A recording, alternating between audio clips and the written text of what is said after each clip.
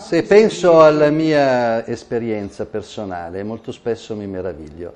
Io sono partito dallo studio di cellule in vitro, di cellule tumorali in vitro, per vedere quali molecole fossero utili a queste cellule per correggere il loro comportamento deviante e patologico.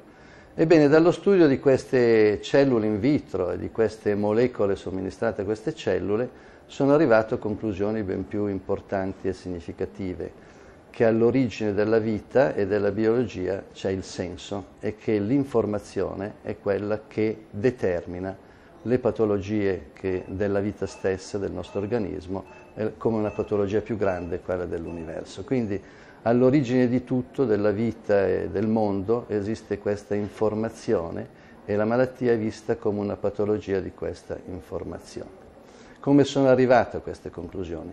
Sono arrivato appunto studiando le interrelazioni che esistono tra le cellule tumorali e l'organismo che è ammalato di cancro.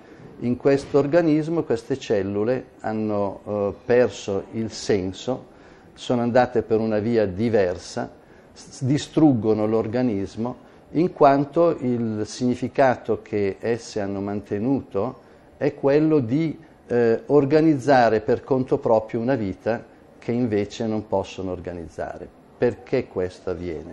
Perché le cellule tumorali sono cellule staminali sono cellule dunque embrionali che sono lì per costruire una vita, ma loro non sono in grado poi di costruire un nuovo essere, sono in grado invece di moltiplicarsi e basta, distruggendo l'essere di cui sono ospite. Loro hanno mantenuto questo significato e non hanno altri, altri significati. Se noi riusciamo a dargli un'informazione diversa a correggere questa loro informazione sbagliata che è alla base, loro riescono a recepire questa informazione, a correggere il loro comportamento e a normalizzarsi. E qual è questa corretta informazione che devono ricevere? È l'informazione che le cellule staminali, nel momento in cui loro si differenziano nell'embrione, possono dare a queste cellule tumorali che sono molto simili alle cellule staminali.